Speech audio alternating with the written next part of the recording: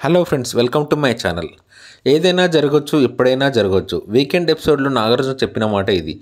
దీనికి తగ్గట్టే శనివారం ఎపిసోడ్లో ఊహించని సర్ప్రైజ్ ఇచ్చాడు నాగార్జున గారు. హౌస్లో వీళ్ళు పనికిరారంటూ ఆడియన్స్ ఎలిమినేట్ చేసిన ముగ్గురు పాత కంటెస్టర్లను తిరిగి బిగ్ బాస్ స్టేజ్ మీదకి పిలిచారు నాగ్. ఇక వీళ్ళ ముగ్గురిని హౌస్లోకి పంపించి హౌస్ మేట్ల బుర్రదొబ్బేలా చేశారు. వీళ్ళని చూసిన హౌస్ మేట్స్ వామో మళ్ళీ ముగ్గురు కూడా లోపలికి వస్తున్నారు అంటూ షాక్ అయ్యారు.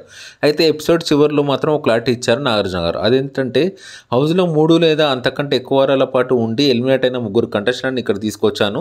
వీళ్ళని జనాలు హెల్మెట్ చేశారు. అయితే ఇందులో ఒక్కరిని మాత్రం మీరు తిరిగి హౌస్ లోపలికి రప్పించవచ్చు అంటూ నాకు బంపర్ ఆఫర్ ఇచ్చారు.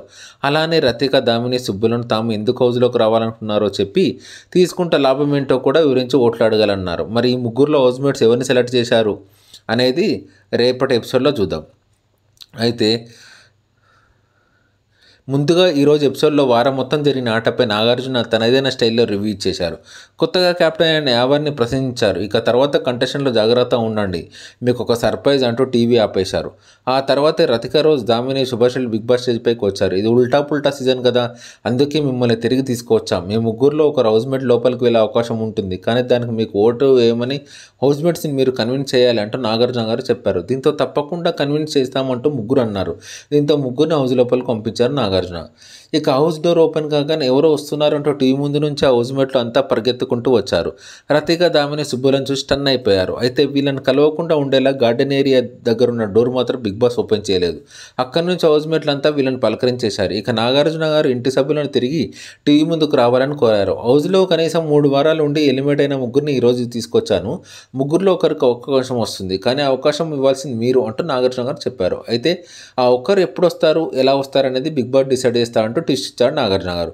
ఇక ముగ్గురిని తమదైన స్టైల్లో హౌస్మేట్స్ ఓట్ల కోసం ప్రచారం చేసుకోవాలని నాగార్జున గారు చెప్పారు. ముందుగా దామిని మాట్లాడింది.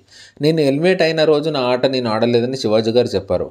అప్పుడు నేను నమ్మలేదు. కానీ ఇంటికి వెళ్ళిన తర్వాత బయట జనాలు చూసిన తర్వాత అర్థమైంది. శివాజీ గారు చెప్పిన మాట నిజమే. నేను టాస్క్లో ఎవరికి పేడ కొట్టాను? అందుకే పెట్టే పేడ సర్దేసి జన్ నన్ను నన్ను జనాలు పంపించేశారు. కానీ ఈసారి అవకాశం వస్తే ఇంకా స్ట్రాంగ్గా మీ ముందుకు వస్తాను ప్లీజ్ ఓట్ ఫర్ మీ. మీ వంటలక్కని మీరు మిస్ అయ్యారు. మీ మ్యూజిక్ మీ మ్యూజిక్ సిస్టమ్ నేనే. మీరు బాధలో ఉన్నప్పుడు మీ ముందుకు వచ్చే పాటలు పాడతాను. నన్ను తిరిగి రప్పించండి అంటూ దామిని అడిగింది. ఇక తర్వాత రతిక పాప ప్రచారం చేసుకుంది. నిజాయితీగా ఉండే చేసిన తప్పులను సరిదిద్దుకోవాలనుకుంటే మరో ఒక అవకాశం వస్తుందని మా నాన్నగారు చెప్పారు. ఆ ఛాన్స్ మీరు ఇస్తారని నేను అనుకుంటున్నాను. నేను వెళ్ళిపోయిన తర్వాత కూడా హౌస్లో ఈమె స్ట్రాంగ్ అని నా గురించి మీరు మాట్లాడుకోవడం నేను చూశాను. మీరు ఓటే గెలిపి ఓటేసి గెలిపిస్తే ఈసారి నా అసలైన ఆట ఏంటో చూపిస్తాను.